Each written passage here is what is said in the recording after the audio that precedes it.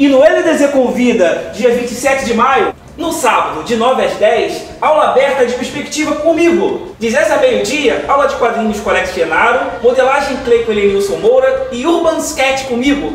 As aulas de perspectiva e Urban Sketch serão no ambiente histórico da Rua da Candelária, bem pertinho daqui.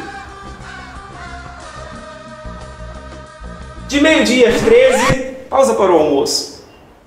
De 1 às 3 teremos aula de mangá com Vinícius, desenho básico com Alex Genaro e uma sketch comigo. Três horas, coffee break. Me derrubaram aqui!